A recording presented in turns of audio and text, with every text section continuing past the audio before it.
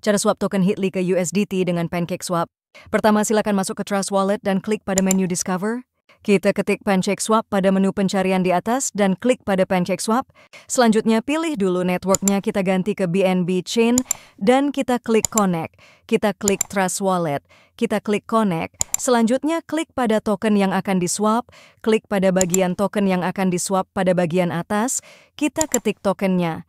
Jika tidak ada, maka kita tinggal klik pada Manage Token, klik pada bagian tokennya. Selanjutnya kita bisa ambil Smart Contract. Token Hitly-nya bisa kita ambil dari apps Hitly atau tanyakan ke sponsornya. Selanjutnya kita paskan smart contract-nya. Kita klik import dan checklist pada bagian I understand dan klik import. Selanjutnya bisa klik berapa persen token yang akan kita swap. Selanjutnya pada token tujuan swap kita ganti ke USDT. Selanjutnya klik pada bagian slippage tolerance.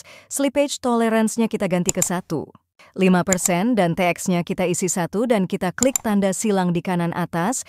Selanjutnya klik pada swap, klik confirm swap. Klik sign, masukkan password Trust Wallet kita, klik approve untuk BNB-nya sebagai gas fee, dan masukkan passwordnya.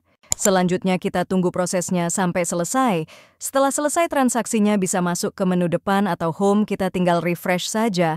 Apabila USDT tokennya belum muncul, kita klik manage crypto, kita ketik USDT dan pilih USDT yang BNB Smart Chain.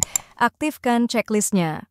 Dan kita refresh. Kembali halaman home-nya, Selamat USDT Anda telah mendarat di wallet Anda. Selanjutnya bisa Anda kirimkan USDT ke CX Exchange seperti Binance atau Indodax. Terima kasih.